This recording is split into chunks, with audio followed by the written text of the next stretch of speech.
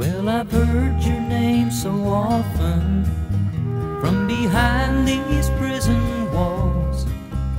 It ain't likely you'll rise up again, but I'll be there if you call. Londonderry Company. Well, the shadows on the maid's lawn,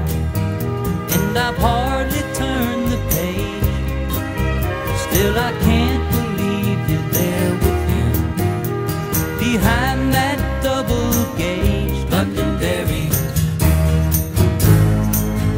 Company. Londonderry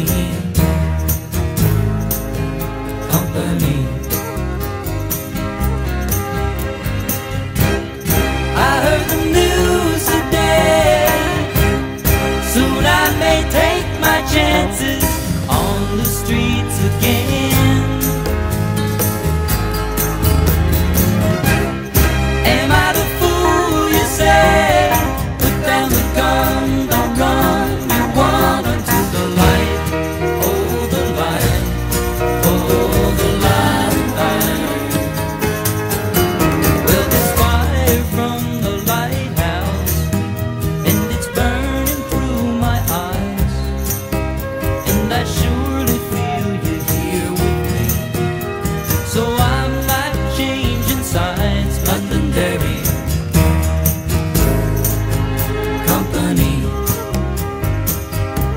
Company. Londonderry